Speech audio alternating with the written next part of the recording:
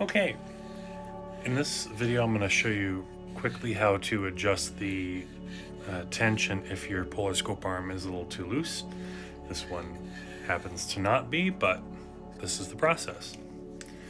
You're going to need a Phillips head screwdriver, a number two uh, millimeter Allen key, and uh, either another Allen key or a Phillips head depending on your mount, the age of the mount, and the screw that's hiding underneath here.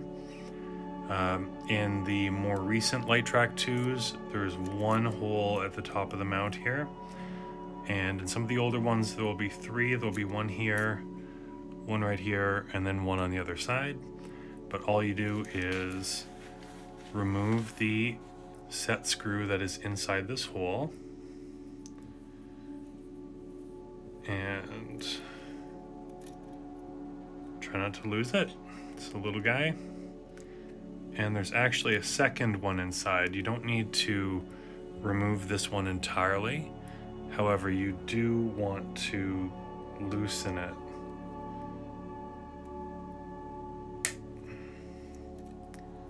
All right, now that that's loosened, what this set screw does is hold uh, the main arm of the mount here, the support arm, static against the last plate here, the attachment plate.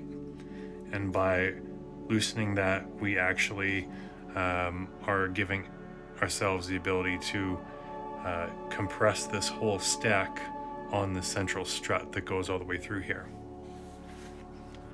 Next, we'll take our screwdriver here and we will remove all four screws.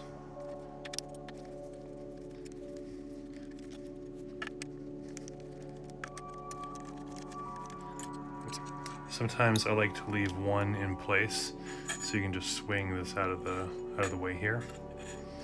Now here we have actually a Allen head screw and in this case, you would just get the appropriate Allen key. And what you want to do is if the arm is too loose, is to, by very small amounts, tighten this central screw.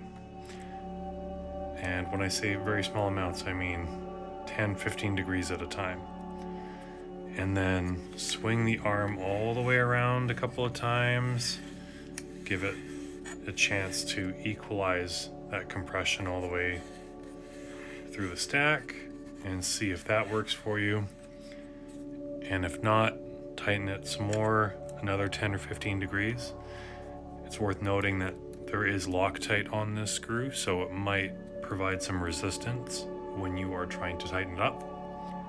However, you should, with proper leverage, be able to tighten that uh, just a smidge and when you have it at the correct friction where your polar arm is how you'd like it,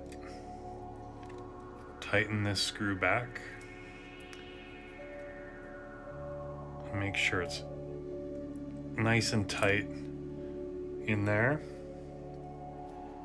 And get the second screw, the first one you removed, put that back in and tighten this screw and that will act to lock everything in place and prevent that first screw that's inside there from backing out. It is good to note that it can still loosen over time with use, with thermal expansion and contraction. Um, you probably want to do this at room temperature if you were to do this all when it was, uh, let's say, too hot, you would find that essentially once it got cold, it would get loose again. And if you were to do it in the cold, you'd find that any temperature above that, this polar scope arm would be really, really tough to move. So that is how we do that. Then you just simply reattach the plate here and you're good to go.